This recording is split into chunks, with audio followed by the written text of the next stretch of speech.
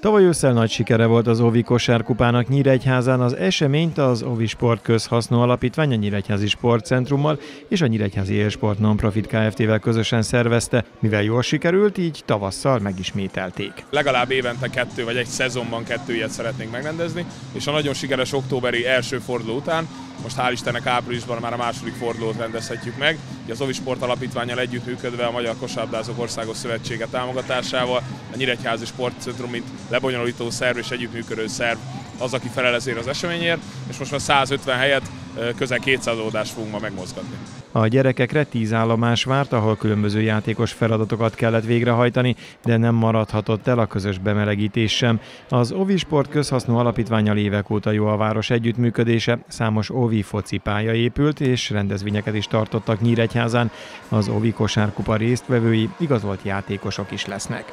Köszönhetően a Magyar Kosárlabdázók Országos Szövetségének és számos más együttműködő partnerünknek meg tudtuk valósítani a az OVI kosárkupát.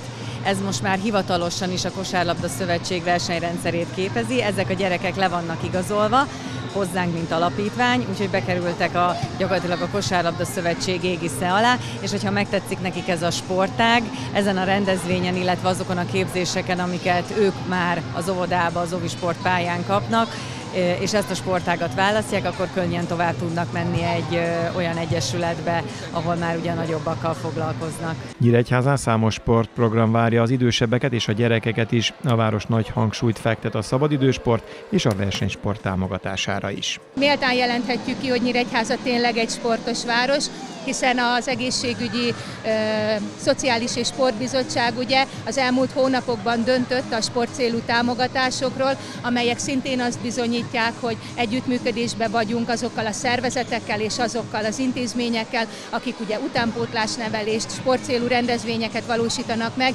hiszen több mint 160 pályázat érkezett be, és több mint 66 millió forint értékben támogatjuk ezeket a szervezeteket, akik valamilyen sportprogramot kívánnak megvalósítani megvalósítani és életre hívni ebben az évben. Az eseményt ünnepélyes díjátadó zárta, ahol minden gyerek ajándékot, illetve érmet kapott.